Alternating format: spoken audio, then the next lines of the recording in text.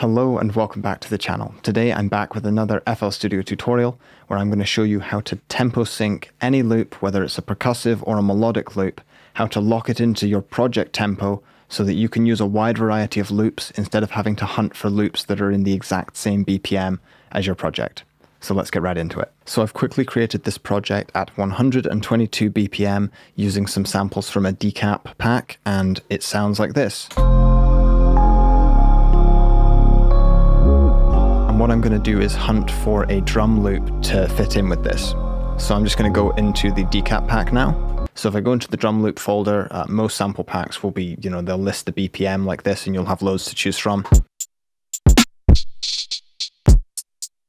So I like this one at 114, but that's obviously not my project tempo. So if I drag this into the project, although the style of the drum loop is really good, it's not going to match up with my project and this is going to sound completely out of sync. Pretty awful. The first thing you need to do this technique is the BPM of the sample. So most good sample packs have the BPM listed, but in case you don't have the BPM or it's a sample you've recorded or sampled from somewhere and you don't have the BPM, you're going to have to find it. And there's a really quick and simple way to do it. Up here in this little waveform icon at the top of the sample window, you just left click and then press detect tempo. It's as simple as that. Just give it a range to search between. I tend to start with 75 to 150, but you can pick a different range. It'll just take a second or two and it'll say the tempo's been detected as 114. Don't worry about these extra decimal points here. It's usually just the main value here, 114. Another way to get the tempo is to open up the channel rack open up the sample wrapper here, right click on this waveform and press detect tempo and it will bring up uh, the same window as last time. So there's two different ways to do that. Now that we know the tempo of the sample, we're going to lock it in to the project. So again, go up to this uh, icon here, this little waveform, left click, and instead of detect tempo, we're going to press fit to tempo. And then we go down to this one here that says type in BPM. So I'm going to select that, and then we have to type in the BPM of the sample not of the project. So I'm going to type in 114 and press enter. And you'll see that it's actually locked it into uh, the grid now. So if I press play,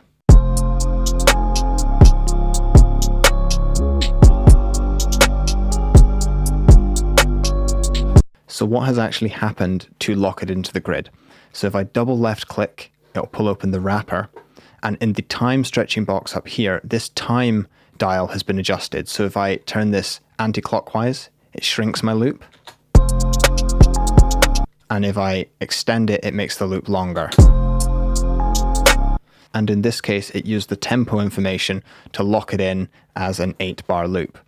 If you right click on this dial, you can actually select specific numbers of bars. So say your sample has been recorded to be 2 bars long or 4 bars long, you can just select that and it will lock it right in. In this case, that's really fast because mine was actually an 8 bar sample. Now there's lots of different time stretching modes, but I'm going to demonstrate those on the melodic samples. If I now want to change the tempo of my whole project, it's going to give us a few issues and I'll show you how to fix these. So if I press play and I want to change my tempo,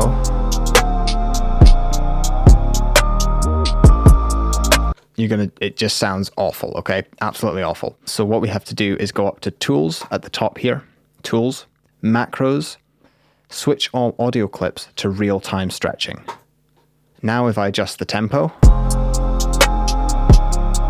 the project gets faster, but it doesn't start going out of tune or changing the key of the project or anything like that. Sounds really good.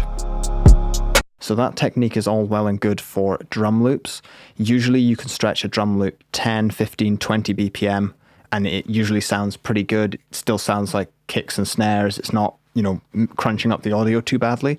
But with melodic loops, you have to be careful which stretching mode you use.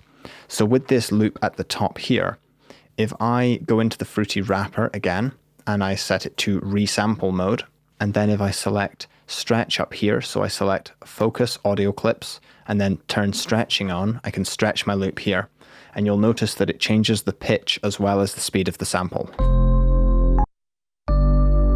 So the shorter my sample gets, the higher in pitch the sample gets, which is not what I want at all. Whereas if I go back into the wrapper and change the time stretching mode to stretch, it's going to adjust the speed, but the pitch is going to stay the same as it was before.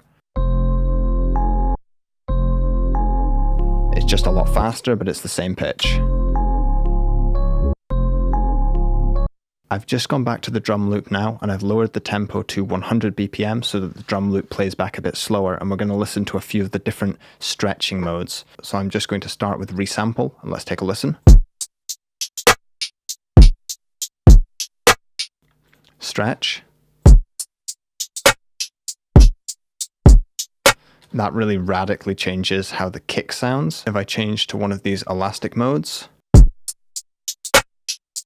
that really, really messes with the kick and the snare sounds really strange as well. So some of the modes, uh, even though they might sound worse on one sample, they can often sound better on another samples, especially when you're doing things like vocal pitching.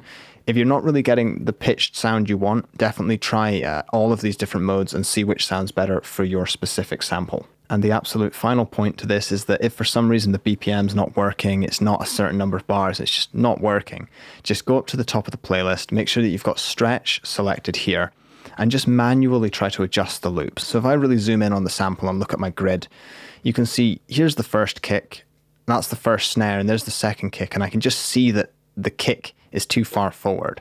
So if I go, you know, to the end of my loop and I stretch the sample in a bit, I can take a look and see whether it's uh, whether it's fitting. So the first thing I would do is zoom in on this sample, and once that I am zoomed in to a place where I can really see the kicks and the snares like this, usually I just cut a bit of the sample off because I don't need to see all of it.